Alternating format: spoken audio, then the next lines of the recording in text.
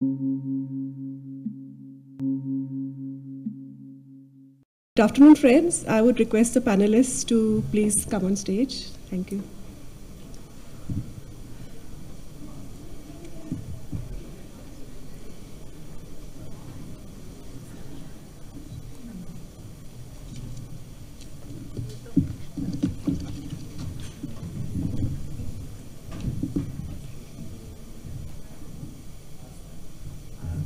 One second. Dạ, à, xin lỗi.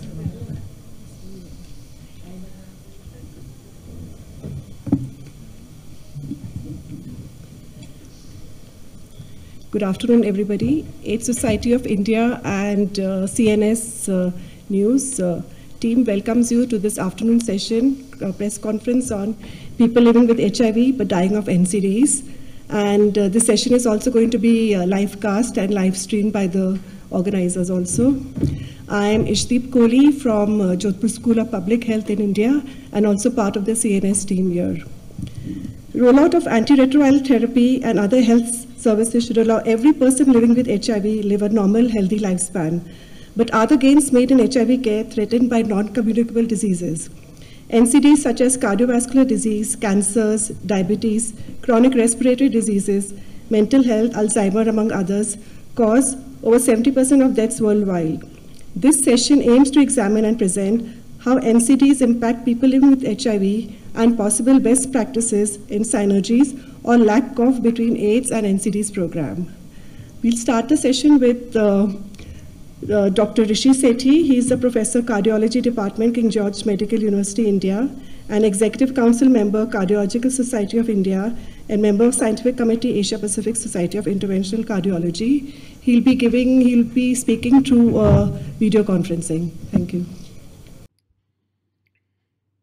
Eminent members of the panel, colleagues, ladies and gentlemen, I wish you a very good afternoon. It's really a great pleasure to interact with all of you from thousands of miles away. The city where I stay and work in is called as Lucknow. It is around 500 miles southeast of New Delhi, the capital of India. The beautiful building that you see in front of you is the medical university I work in, King George's Medical University, and I am working there as a professor in the Department of Cardiology. We all know that non communicable diseases, especially cardiovascular diseases, are today the number one global killers.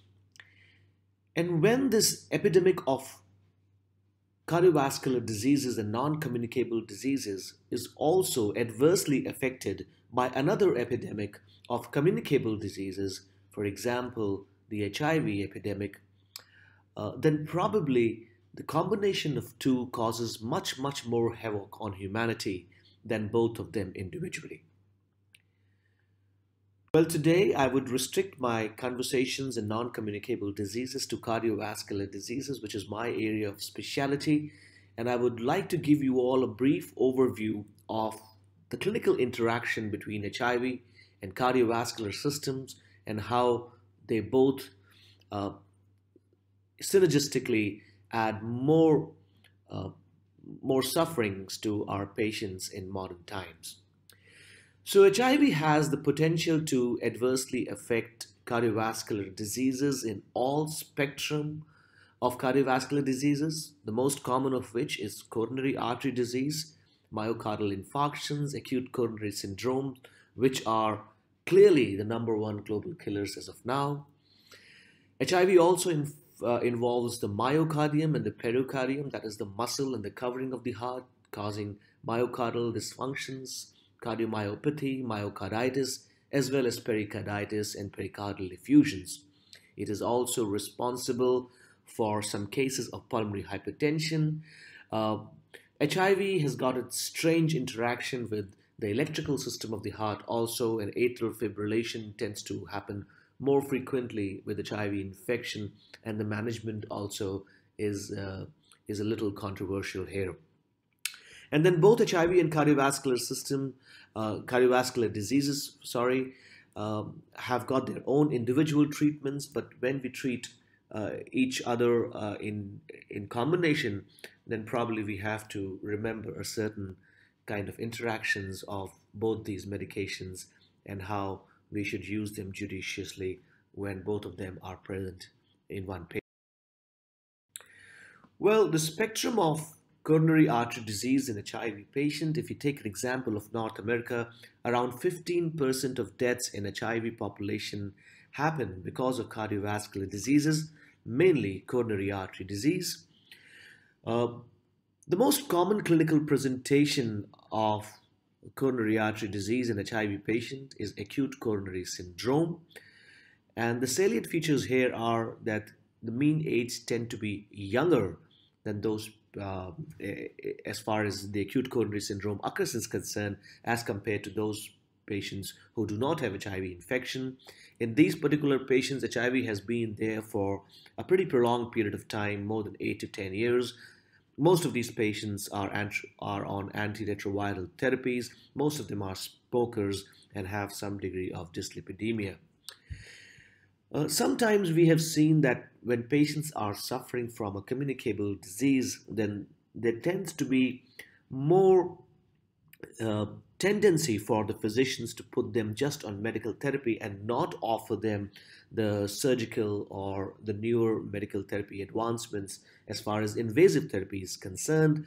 And here I would like to stress that the outcomes of both coronary angioplasty, or it is known as the percutaneous coronary interventions, as well as the coronary artery bypass surgery, the efficacy of both of them is similar in HIV population as compared to non-HIV population. So there should not be any any bias as compared to treatment of HIV patients just on medical therapy. If we think that PCI and CABG are to be offered to the patient, we must offer them to the patient, and they uh, they end up have been equally beneficial in HIV population as compared to a non-HIV population. Uh, the ACS incidence is substantially high with HIV. Um, recurrence uh, is substantially higher with HIV infection as compared to those patients who do not have HIV. Well, if you take a look at why HIV is adversely affecting coronary artery disease, if you just go into basics of pathophysiology, and I would just like to give you a very broad overview, HIV can influence the traditional coronary artery disease risk factors. For example, a smoker HIV has got 2.5 times more risk uh, of causing um, uh, uh, adverse outcomes in coronary artery disease as compared to um, uh, smoking in non-HIV patients. Hypertension tends to be more in patients on antiretroviral therapy, and dyslipidemia therapy um, is also most of the statins are also to some degree are uh, having interaction with protease inhibitors with the exceptions of one or two statins about which we will tell you later. The, so the treatment of hypertension, dyslipidemia, and uh, is difficult in patients with HIV, and smoking causes more harm in HIV population as far as cardiovascular disease is concerned as compared to a non-HIV patient. HIV per se is an inflammatory state and a procoagulant state. Both inflammation and pro and and coagulant state tends to tends to cause more plaque rupture and cause more acute coronary syndromes and myocardial infarctions. Immune activation is also one of the pathophysiology. Vascular endothelial dysfunction is also one of the features of HIV infections, and all these uh, in combination are lethal for patients who already have some atherosclerosis. All these make the patients of atherosclerosis more, more prone to plaque rupture and more prone to acute coronary syndrome and myocardial infarction. It's also seen that when patients of coronary artery disease who are on antiretroviral therapy, if that antiretroviral therapy is disrupted or interrupted because of any reason whatsoever, the patient has an increased risk of having acute coronary syndrome, and that is also one thing that need to be emphasized here. We also know that muscles of the heart, that is the myocardium, is affected by HIV virus and it has got multiple etiology. It is affected directly by HIV virus as well as other cardiotropic viruses are more likely to cause something called as the inflammation or the infection of heart muscles called as the myocarditis. And symptomatic myocarditis or cardiomyopathy is known to occur in patients of HIV disease. Of course, illicit drug users, cardiac tumors, and autonomic dysfunctions are also uh, agents which cause myocardial systolic dysfunctions in patients of HIV. Pericardial diseases, uh, pericardial effusion, pericarditis, uh, because of HIV infection as well as other opportunistic infections that, that happen in HIV uh, can cause both pericardial effusion and pericarditis and this is something also that we must know. Atrial fibrillation in flutter happen more frequently in patients of HIV and the role of anticoagulation which is very important in um, in uh, in patients of atrial fibrillation is really uncertain in patients of um, uh, HIV. There's no consensus whether it should be given or not, but there are many multivariate predictors of AF and HIV that is lower CD4 count, higher viral load, older age, uh, prior presence of coronary artery disease and congestive heart failures and renal failures, hypothyroidisms and alcoholisms, etc. Whenever we treat coronary artery disease or cardiovascular diseases, we tend to calculate uh, the risk factor for development of coronary artery disease. And it is seen that the HIV uh, causes um, HIV causes around 1.4 to 1 or 2 times more uh, it adds it it, uh, it multiplies the risk of coronary artery disease uh, in, in population by 1.4 to 2 times um, the normal. And if you take the average baseline risk of uh, coronary artery disease in the population that is infected with HIV and we multiply it by the additional HIV risk that imposes, we tend to have an overall risk of developing coronary artery disease in patients of HIV to around 23 to 35 percent over next 10 years, and that is equivalent to um, having uh, uh, that is equivalent to actually diabetes. So HIV status, HIV positive status, should be treated as a cardiovascular risk equivalent and should be all the risk factors in this particular um, scenario in patients. If the patient has hypertension, if the patient has dyslipidemia, it should be treated. If the patient has diabetes, additional diabetes, it, they should be treated much, much more rigorously in these patients if we want to uh, prevent an adverse cardiovascular.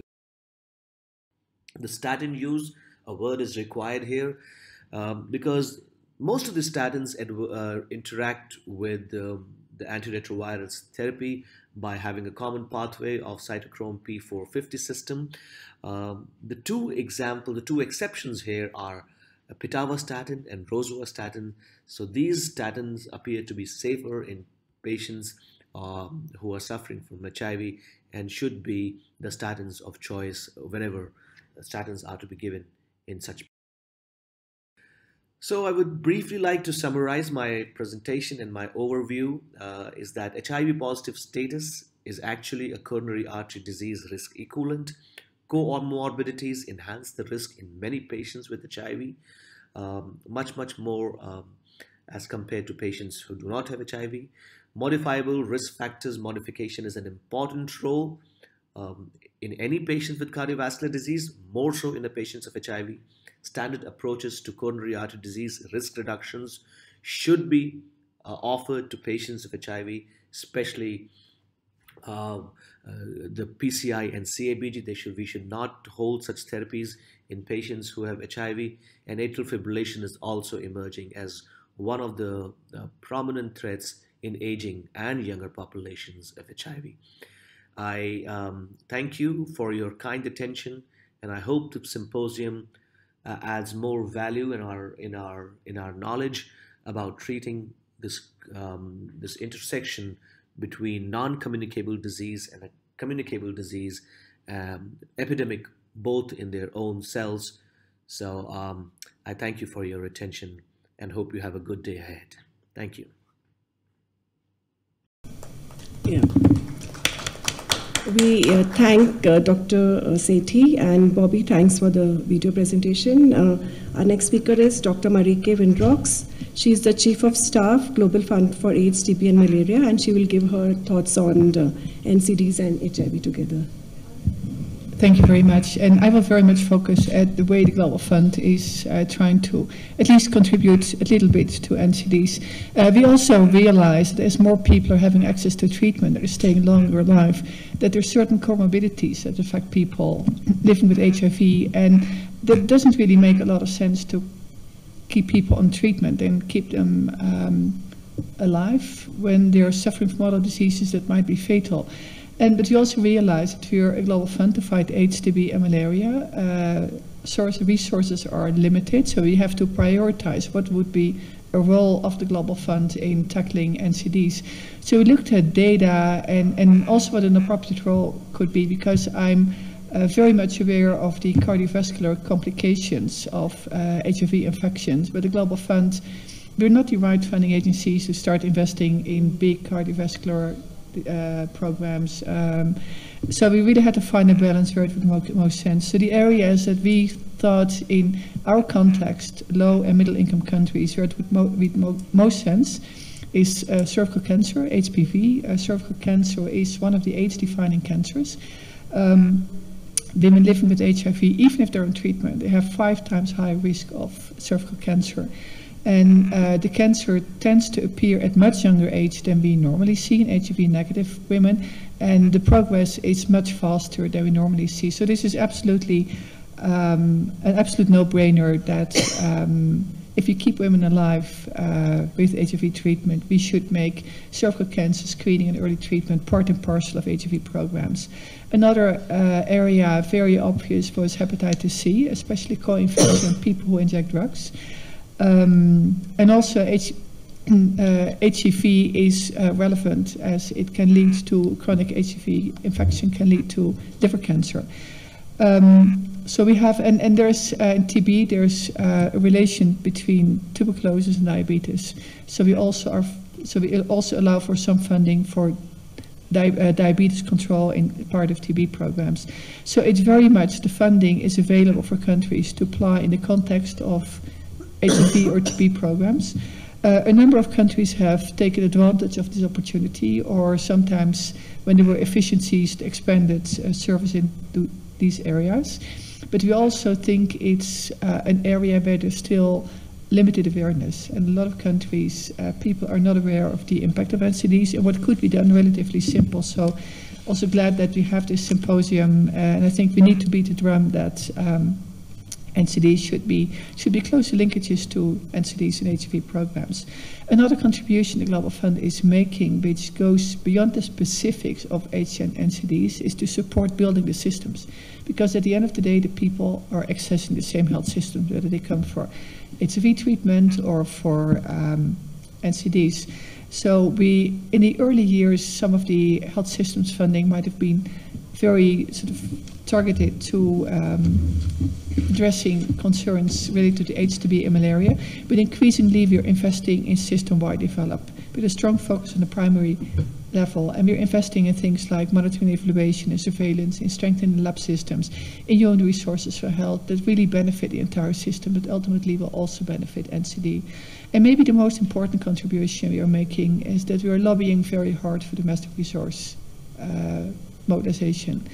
Um, we know that uh, we've seen that a part of our allocation is contingent upon countries meeting co-financing requirements. We know that a lot of countries, um, first of all, they could increase the proportion of the budget they invest in health. A lot of countries dedicate only a small proportion of the budget on health, and countries can increase the overall envelope by for example, more tax and revenue collection, and including this tax uh, collection that would be good for the health budget and would be good for NCDs.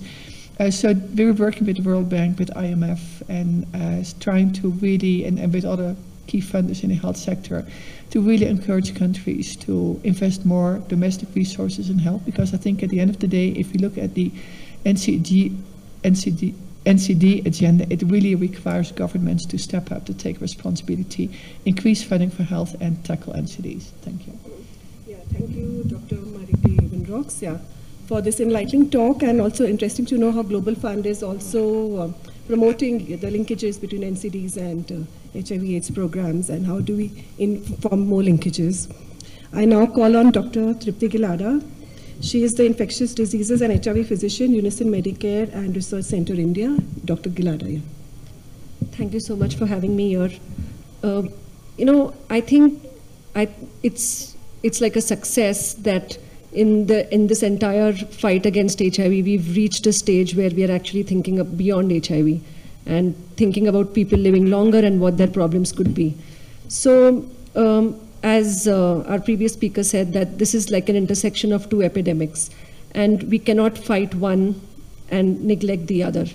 Uh, I'm not sure, but there's a if you've seen it, but there's a famous cartoon that's pretty popular in the medical community in India, which says which, which shows a surgeon outside the operation theater saying that the surgery was successful, but the patient is dead. Mm. And you know, we, we don't want to be that bad doctor who's just thought about one disease without thinking if the patient is going to survive that surgery. So, um, and it has been shown that uh, HIV physicians are almost 60 times less likely to screen their patients for NCDs than, than other patients. So there is a, there's a big gap in the way we provide care. Uh, I think, I, I mean, it's true that we will need more funds, but compared to the other areas in HIV where, where it requires more uh, viral load testing or new ARTs, I think NCD is that one area which might be easier to tackle because it doesn't require that much of political win and that, and that many resources. We have the resources available to manage NCDs in most countries.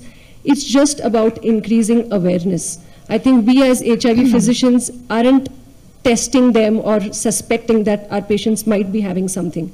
And if you see the entire spectrum of diseases, the most common, common ones being cardiovascular, so hypertension, diabetes, and lipid uh, abnormalities, the investigations aren't expensive. They are easily available.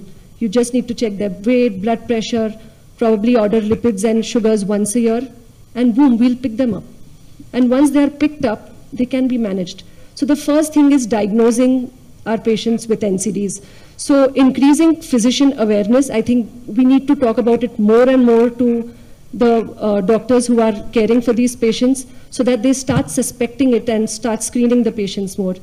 And the second important thing is integration of services. And we've seen this throughout the conference where patient-centric care and integration of services, it has been time, shown time and again that it's so important.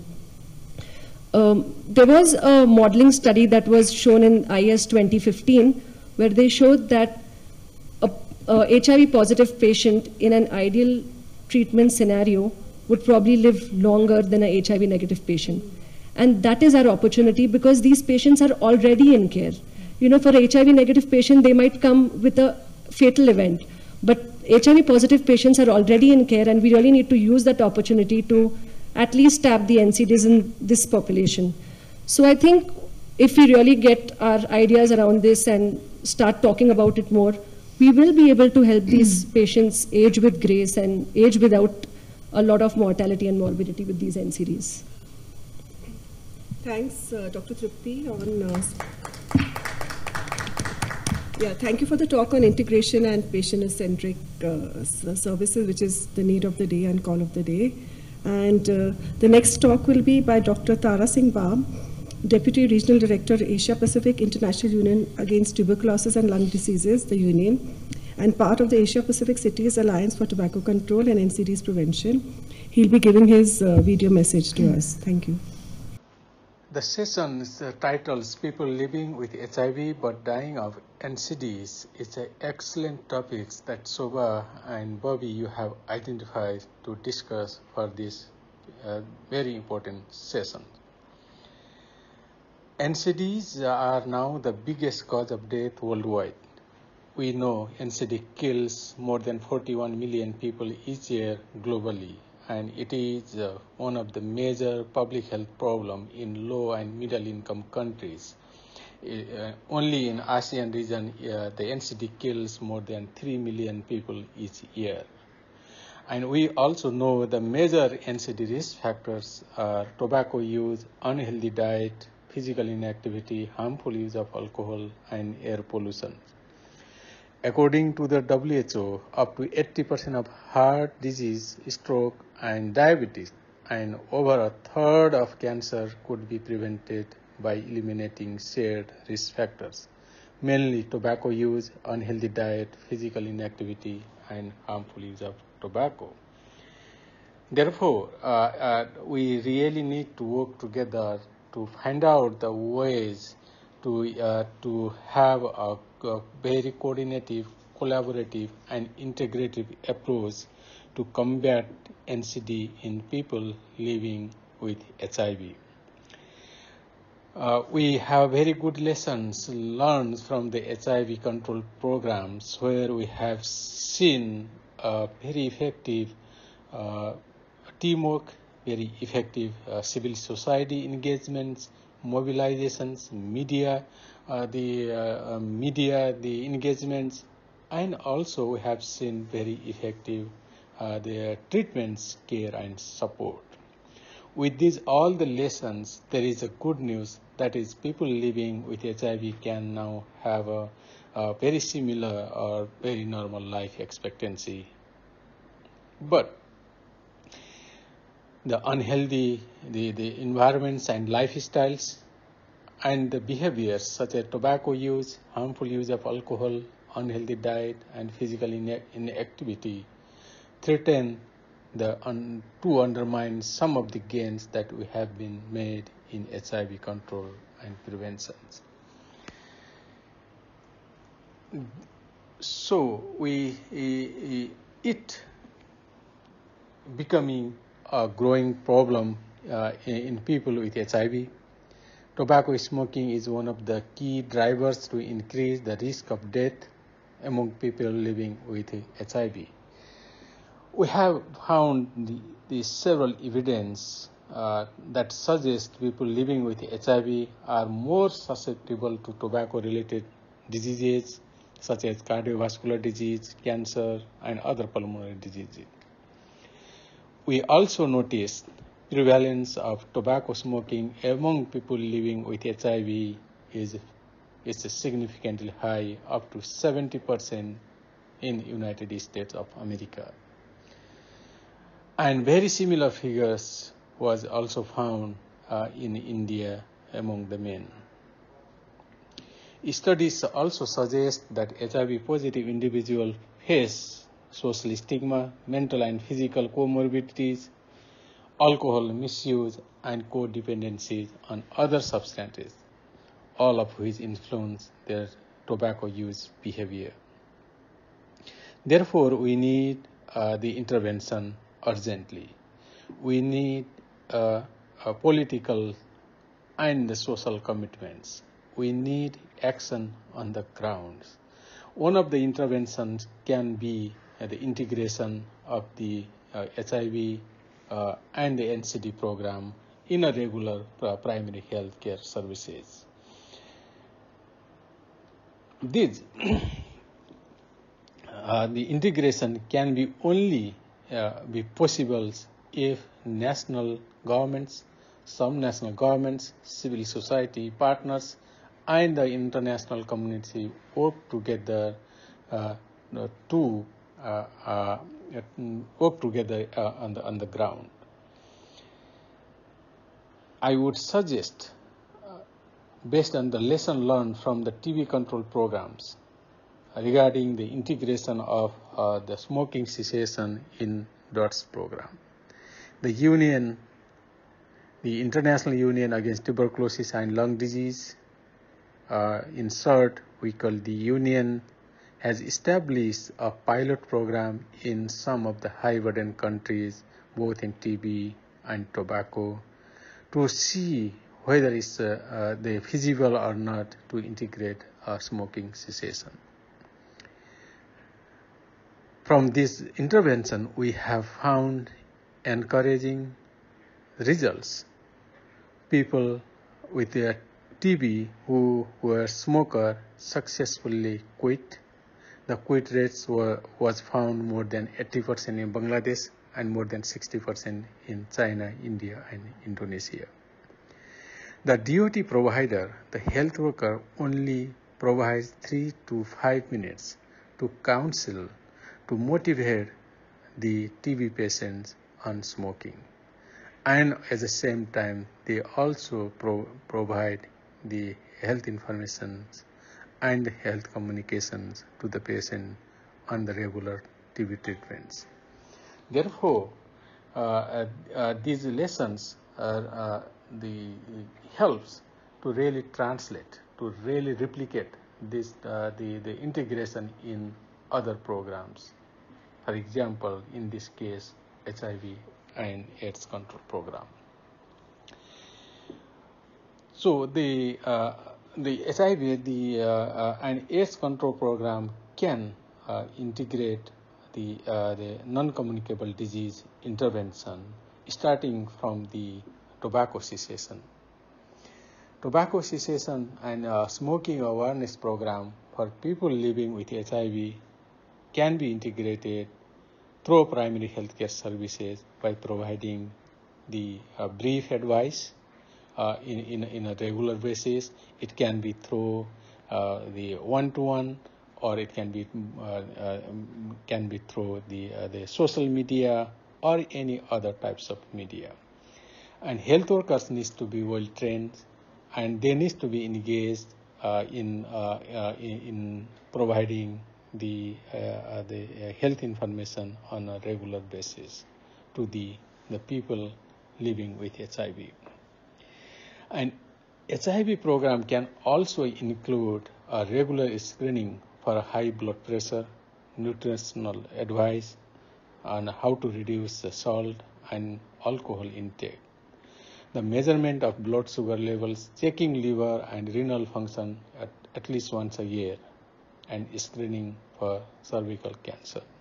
So these interventions are very cost effective and uh, can be can be done uh, at the primary care levels.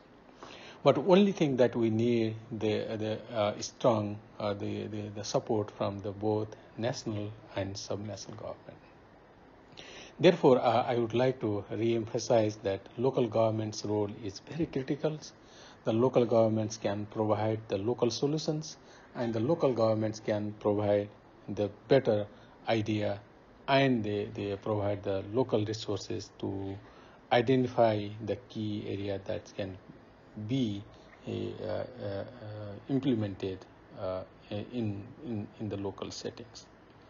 The second issue I would like to highlight here is engagement of the national governments in political decisions and in political actions in public health program. National governments should increase tax. National governments must ban the, all types of advertising and promotional activities. National government should regulate the all uh, the uh, uh, the product like for example tobacco, alcohol, sugary and sweetened beverage. In, and these all the the products uh, they should be uh, well regulated. In addition to that, the the national government should frame the the, the NCDs and HIV under the umbrella of universal health coverage with plan and targets and all the plans and targets should be well costed and they should be time bound. The third, uh, the uh, uh, but the, it's very important that the elements I would like to highlight here is family engagement. Family can play a, a greater role in, uh, in in providing the better health services family can provide a, a, a role model to really motivate the, uh, uh, the to motivate the people for their own health, to counsel the people, to to, train the people within uh, in in the household to quit smoking, to quit alcohol, and to have a regular uh, the the health checkup uh, on uh, on a different area as I mentioned earlier. So within the families, we have to also target the key, uh, the individuals. They might be the the mothers and other uh, uh, and other the, the people other, individual in the families mothers is, is one of this, uh, the, the key drivers and key motivators uh, in, in, TB control program while we have in, uh, the implemented the smoking cessations. And mothers play the greater roles to convince the, uh, the, uh, the, the smoker in the family to quit smoking. Therefore, the, in, in, in HIV context, I would suggest we need to engage the family, we need to engage the uh, local leaders, their mayors, their governors, and also that the central government should play a critical role, role to build the the, the uh, uh, motivations, to build the, uh, the, the support from the uh, national, international partners, and to offer the, the best uh, the, in, in, the solution to, to the people who need on the grounds. With this, I would like to thanks so the everyone's. Uh, I'm very sorry I couldn't be there physically. Thank you. Ding Thanks to Dr. Bam for his presentation and talk about uh, how, the importance of tobacco control and uh, uh, connecting it, integrating it with HIV services. Our last speaker of the day is uh, Dr. Ishwar Gilada, President AIDS Society of India, and he's part of the Governing Council, member International AIDS Society. Dr. Gilada. Uh, as people from medical community or science, we don't believe in God. But at the same time, we are every time reminded of our earlier learning when we were children. Man proposes, God disposes. Whenever new medicines come, uh, and they are better than previous medicine. We think that now everything is very easy, everything easy. As the days pass, we understand what is going to happen. Uh, one of my mentors used to say that God created melodies and remedies both at a time. Is a human being has to find out which melody work for which uh, remedy, uh, which remedy will work for which melody. So this kind of a cross puzzle we have to do lifelong. Now coming to uh, the role of physicians. Amongst most of the scientific professions, medical profession is one profession. They have to keep on learning, learning, relearning, training. Now look at myself. I'm a basically dermatologist and venereologist coming into the field of HIV. So my internal medicine is not that strong. I, am dermatologist and venereologist, so I'm looking at periphery of the body. But when you come in HIV, you have to learn all parts of the body. You and then, not only that, today patients with HIV are living longer. Initially, we used to tell them, make a five-year plan. You're going to survive for five years. Whatever you want to achieve in five years, you achieve. Now, one zero is added to that, 50. Yeah. So there are people living for, uh, at least in our practice, 25, 30 years with HIV. They are looking at them, they are going to live another 25, 20, 30 years. And sometimes we tell them that don't worry, you are going to live a perfect normal life another 20, 30 years. Earlier, they used to disbelieve me, thinking that this doctor is not going to survive for another 25, 30 years. He's just saying like that. but actually, it is really happening. That is one issue. And there are people who are aged and they are bringing HIV. Hmm. It is not that only people are growing with HIV. There are grown up people, 60, yeah. 65, 70, being diagnosed for the first time and uh, it's not that they were suffering or they were harboring HIV for 20, 30 years and now diagnosed. They are bringing fresh.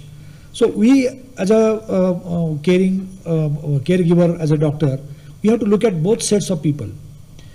Now mm. there are a lot of uh, focus discussions here. One treatment fit for all. Similarly, here those which are medical caregivers, the one physician fit for all. we have to look at everything. Uh, there are a lot of targets given by UNAIDS, WHO. Some of the targets are, sometimes we think that they are only dream targets. But this one of the target is easier target, as Trupti said, is a achievable target, and one of the most easiest target to be achieved. So uh, reducing 25% NCDs, it will not be a tough issue at all. Uh, there are certain things which are not over stress, they should be over stress.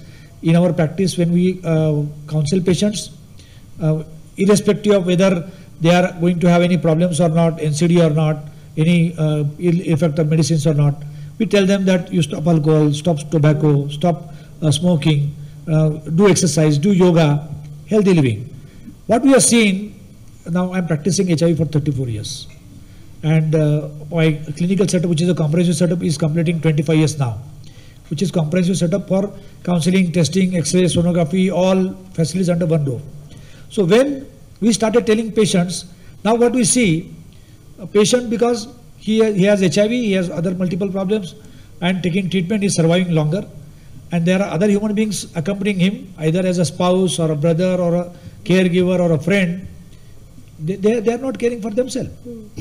uh, they, uh, we always tell patients that you give an annual maintenance contract for your air conditioner, for your car, not for your body. So when you grow old, older than 50, 60, already you are already on 5, 6 medicine every day. And in addition to that, if you get another problem, you need to add. So what we started seeing, husband, wife, husband positive, wife negative. Wife is dead, husband is living. Two brothers coming. Uh, the brother who is HIV negative, he is dead. So our patients are surviving longer and with a better life, better quality of life than those who are, those who are not HIV positive. So to get a better quality of life, somebody has to acquire HIV. that, that kind of situation has come. Yeah. reverse this, you know, this uh, reverse. Uh, second major issue is that there are guidelines and combinations of medicines. They are changing more frequent than the seasons. Twice in a year, thrice in a year. And we do not expect that every doctor will update knowledge so often and will change practice uh, so fast so that they will be at, uh, at par with the world. So we, we will be at some places uh, learning from our mistakes. Uh, for example, uh, about two months before, two of our patients picked up diabetes. No family history of diabetes. They themselves were not diabetic. And we were surprised and not the only diabetes, blood sugar 600. So we started on uh, insulin and this and that, and then we realized we are doing some mistake somewhere. So we picked up one by one drug and we realized that FTC or uh, emtricitabine may be a culprit. We changed uh, emtricitabine within two months, patient without anti-diabetic treatment normal. Sometimes we may have lost that kind of patient in diabetic crisis. People may have filed uh, suits against us that this doctor has lost. But we are not cardiologists, we are not diabetologists, we are not hypertension specialists. We are uh, basically general uh, duty doctors. In addition to that, we have some qualification in becoming HIV expert or STD expert. But in addition to that, those things we don't understand. And we have to keep on learning from our mistakes or from uh, the mistakes which can happen inadvertently without our knowledge. So therefore, we cannot take that science has progressed very well and it, uh, all uh, discussion should end, all uh, research should end, everything we have conquered HIV, it is not going to happen. Whether HIV, hepatitis B, hepatitis C, tomorrow hepatitis C completely, completely curable now, but maybe some problem will crop up after some time. So we need to watch out and uh, we need to learn and relearn probably these kind of occasions of uh, IS to, to 2019 or ISC. They are the occasions where we interact with people, we try to learn uh, without confessing publicly, we understand that we have made a mistake there uh, and we should correct. Uh, that, that's uh, one of the things we are going to do. Uh, if you have any questions, please Yeah. come back. Thanks, Dr. Gilada, for very interesting talk. Yeah. Very interesting talk on uh, healthy living with HIV, and uh, the floor is open for the audience for their questions. Yeah, please uh, state your name and uh, the question, please. We can start off. I can start off by asking, uh, you know, what is the way forward? You know, to all the speakers. How do we how we take it? We we all understand that it's it's not very difficult, but how do we make uh, the, how do we change the health systems, or how do we get the political commitment to go ahead? Uh, no, I think uh, political commitment or global fund commitment is on one side, but when we are one to one with patient, we need to understand what medicine will fit to that patient. Even if they say one medicine fit all, it is not going to be true. Whether it is dolutegravir or efavirenz or efavirenz 400 or new newer drug coming rilpivirine or cabotegravir, not.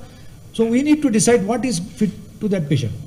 With a given guidelines, we are not going to reinvent the wheel, but given uh, uh, uh, combinations available, what medicines will fit to that particular person. And if they already have an underlying problem of cardiovascular disease or hypertension, we need to be doubly vigilant. Moreover, if they are already on some medication, we need to look at drug-drug interaction. Earlier, drug-drug interaction was very tough thing, but now there are formulas, there are uh, websites. You just put one medicine here and one medicine there. They show Yeah. no interaction, interaction, no interaction, partial interaction. So I think things have become easier with uh, uh, IT boom and a lot of knowledge around. But uh, sometimes it, when it looks easy, it becomes tough also. Like at this age, I'm 62, I'm ex- exposing.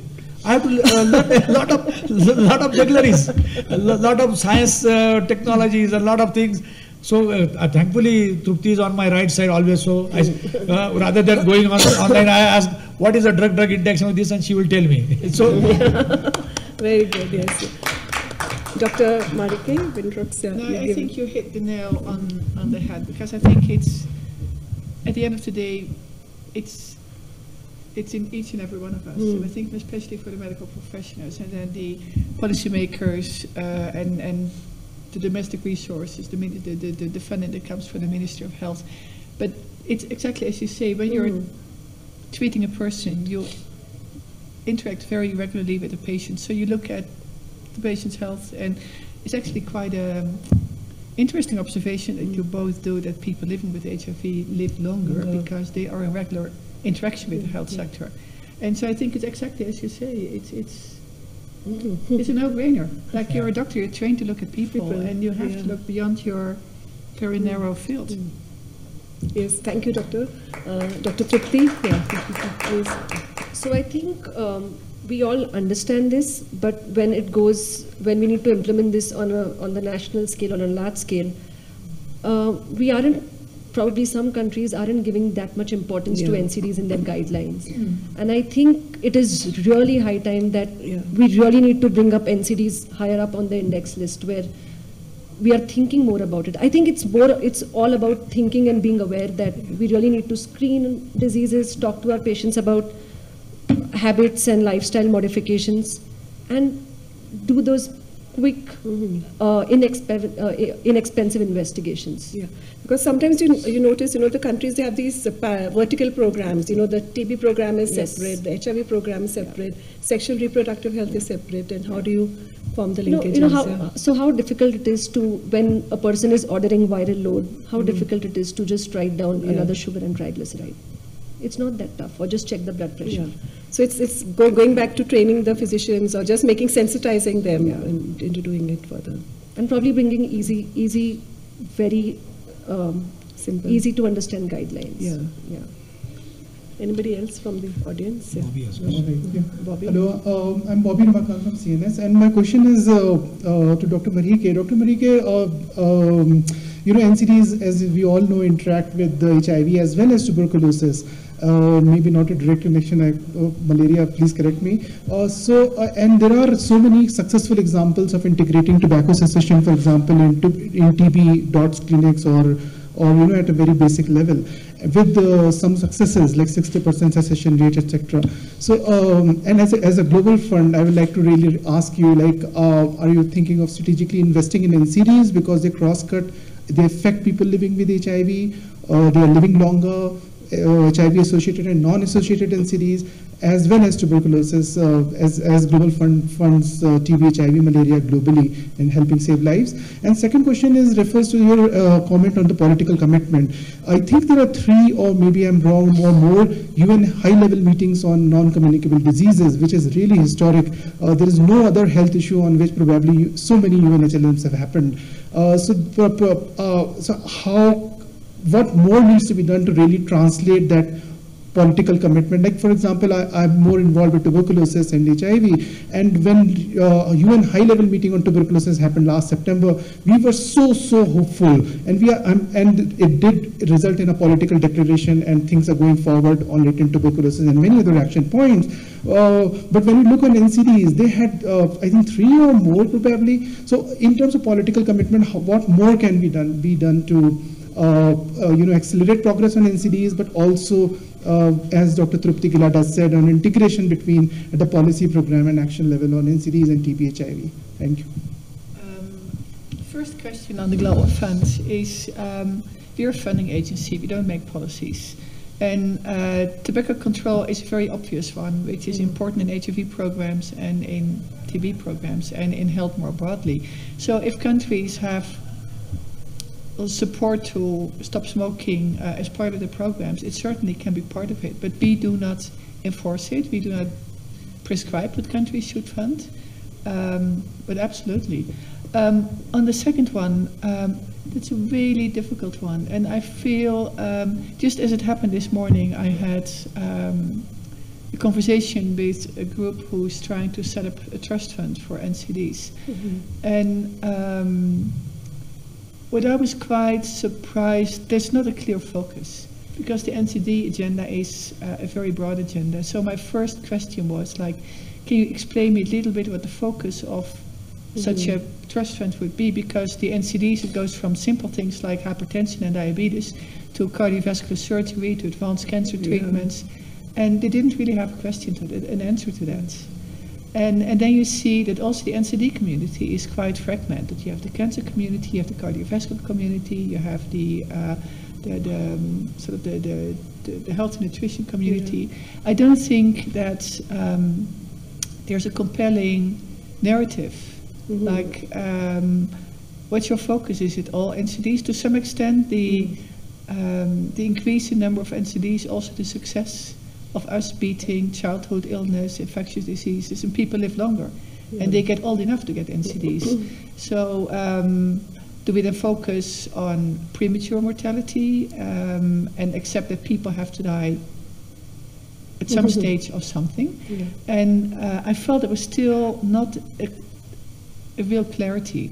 And uh, if I draw the parallel to when the Global Fund was created, was a very clear narrative. There was uh, so many million people were dying, treatments are not uh, getting out there. So the narrative was very clear, which made it much easier to get a political attention and um, and the funding.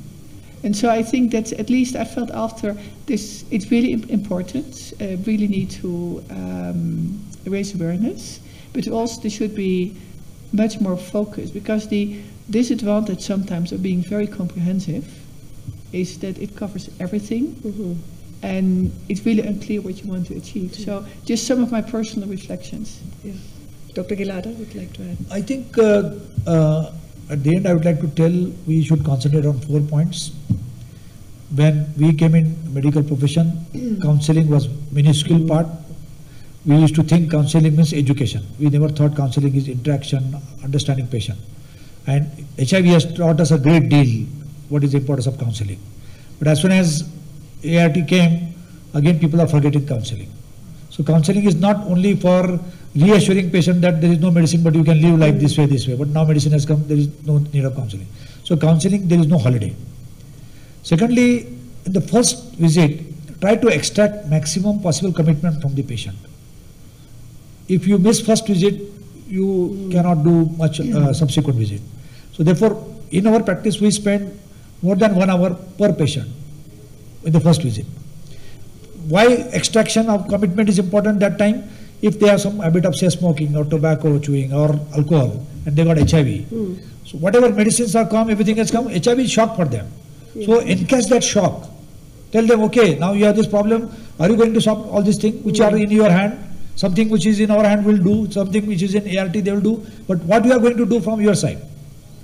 Thirdly, adherence. Asking patient that because uh, uh, we in India say patient go in air as soon as they start feeling better, whether it is TB or HIV or any disease, as soon as they start feeling better, they go in air, and then they their lifestyle again go to haywire and they will forget taking medicine. Adherence. And fourth most important is reassuring patient that I am available anytime, anywhere. I am in Mexico, but I am available on WhatsApp. Use technology. Now, another important thing what we have learned in our practice is uh, because HIV has a stigma and discrimination. That is advantage for us because patient will explain everything to us, whether he has a cardiology problem, STD problem, so skin problem or uh, hypertension problem. But when they go to cardiologist, they will not tell that they have HIV.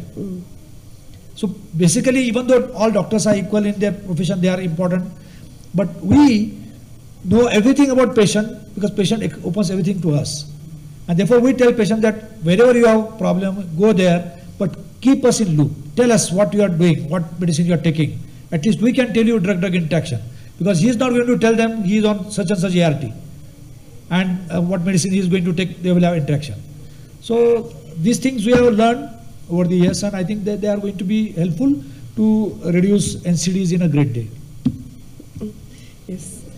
There Any is one. There is one other thing I wanted to mention is that um, one big area of NCDs that we all forget is mental health and depression. Yeah. And with aging, they are they are financially deprived, they are emotionally deprived, they've lost their spouses or their loved ones. Kids aren't looking after them, and I think they need those extra five or ten minutes in every visit to get that mental stress away.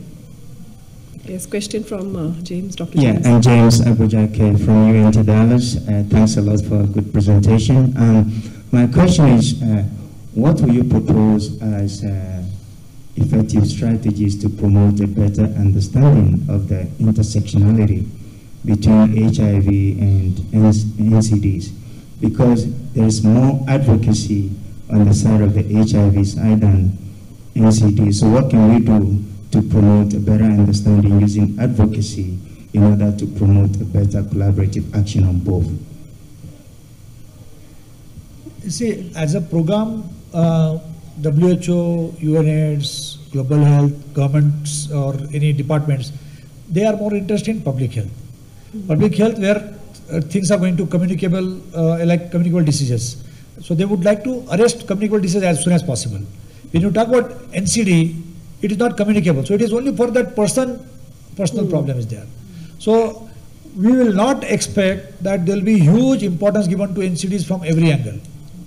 Uh, let us be very frank. Let us uh, be practical. That we can't expect that everything will be done by all these big agencies in either uh, uh, city level or s- state level or country level or global level.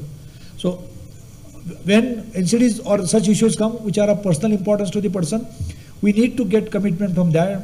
We need to ask them to do uh, lifestyle, uh, lifestyle modification, and we need to, as a physician, see what best we can do to alter medications. Uh, th- th- this there we will not expect that a lot of big things will be done from uh, global or uh, national programs and organizations. Yes, Dr. Marijke, you would like to Yeah, add? No. sorry if I'm wrong. No, no, no, no. I, I totally agree, and um, and the evidence is very clear.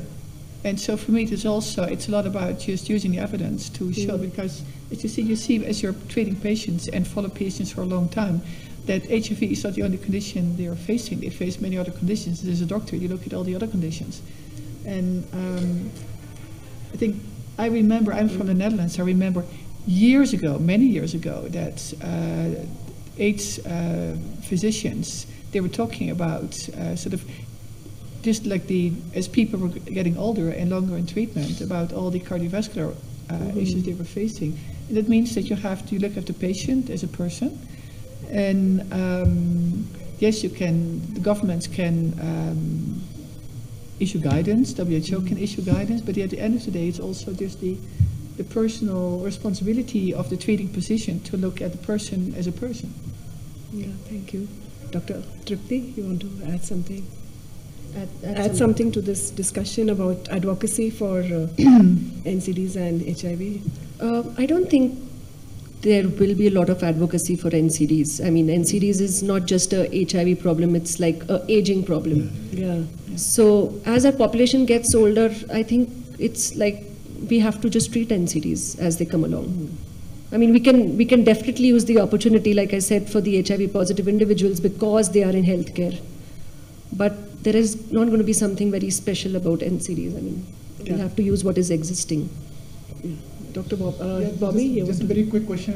We are running out of time. Uh, one is to Dr. Gilada. Dr. Gilada was also on the World No Tobacco Day webinar. So, uh, sir, you shared that, and I think it is very relevant. Dr. Gilada is not only about, has been among the first doctors who began HIV care in India, but he has uh, ensured that all HIV conferences do not have any, uh, you know, uh, they they have a no tobacco, no alcohol policy. Sir, it is very important because global health community now is seeing the linkages between HIV, alcohol, and non-communicable diseases and general health well-being. I think it will be really uh, good for you to share uh, what inspired you. It may not be very I popular. hope ICASA 2019 takes some messages here. And Dr. Trupti, a very quick question to you. Uh, is that, uh, you know, it's really good that if, if physician, HIV physicians uh, ta- take care of, you know, about NCD signs and symptoms. Uh, but in public health settings, is it, um, is it like going to happen? Is it pragmatic or is it possible? Thank you. Uh, I think it's definitely possible. You know, um, everyone, I mean, the caregivers in most countries are at least basic MBBS trained doctors. And blood pressure, diabetes, diagnosing that is not that difficult. I mean, they can always be referred to the relevant specialty once it's diagnosed, but the main thing is diagnosing it. I think where we are missing is diagnosis. And I think once the patients are told that they have a heart disease or they have blood pressure, they are responsible enough to take at least that one step forward and going to the physician. Uh, your, your question about tobacco and alcohol at conferences is uh, something we learned from our patients. When I was asking one of the patients, why you continue smoking? He said, why government is producing tobacco? Why Yeah. government is producing? Government should stop production of tobacco. Government should stop production of uh, cigarettes and bidis. But uh, the governments have their own compulsion. Their, their, their vote bank, their taxes, what they recover from that, they don't want to forego that. Those governments which have sta- uh, start, uh, started uh, anti-tobacco or anti-alcohol policy, uh, they face a lot of problem in our country. So those issues are there. But what we thought, we are number one from medical profession. So if we want to have other people to emulate us, we should have some example by ourselves. Number two, whether we do a conference or we run an organization, we collect money from people and run. It is not fair to spend that money in alcohol or tobacco or some certain things which are not required. Uh, it is better to spend that money on giving good food, good snacks, uh, good uh, cultural program because you are tired after the whole day. uh, Do a good program. And when we started, people called us mad. They said, "How can medical conference run without alcohol?" So what we learned I was traveling once from uh, Mumbai to another, uh, Delhi to another place, and at that place there was one CME organized, and one very senior physician than me, about 15, 20 years older, older than me, who just died two years back. We were traveling together. When we reached there, at a designated time, we, we doctor we should be punctual. We reached there, there were five people for the program. When the senior most physician started talking, by the end of the, his talk, there were seven, eight people. When I ended my talk, there were 15 people. But when we came out, there were 50 people outside taking alcohol. So what we talked to the pharma company, they said, no sir, we said, we, no, please come for, uh, uh, what do you call, gala dinner or alcohol or uh, cocktail. And there is also lecture of Dr. Gilada. so I told that senior uh, uh, physician of, uh, who was my mentor also, that henceforth we stop going to places where they are inviting us to just to have, have their things are clear. There's basically alcohol party. We should not go to such places. Now today, Medical Council of India, Indian Medical Association, all government authorities or WHO bodies, they are now making it compulsory, no alcohol, no tobacco. So it takes time, but it took almost 20 years for us to reach that level. Thank you. We have another Just question. quickly, Yeah. For yeah. me, it's just, it's just a, a comment. I'm thinking that uh, a, a, a, a NDC is very, very important. Yeah. That uh, we should also take into consideration tax shifting. Yeah. Because if you are not shifting tax, the doctor cannot do everything. That's very, very important. But I do not see too much tax shifting in this conference here. You know, I'm thinking that we have to put it back on ICASA, you know, so that we can emphasize more on that. Tax shifting is the key if really we want to address NDC in our setting. Thank you. Yeah. Thanks, Dr. Luke. Thank you. You want to? No, just just one comment and listening, and this is not in my role as Global Fund, but more personally. Um, because we talk a lot about treating NCDs, but the most important part is prevention. And um, because by the time you get to um, have all these problems, you're too late, and you will get into complex, lifelong, expensive treatments. The prevention is very key, and I think that's where, Those if it's about raising awareness and uh, advocacy, I think this is about prevention, healthy lifestyles, which is not an easy one. Um, I talked about the tax, the, the taxes on uh, sugar, uh, tobacco, and alcohol. Those are things that uh, will be politically really difficult because there's strong economic incentives and powers in country that will stop it.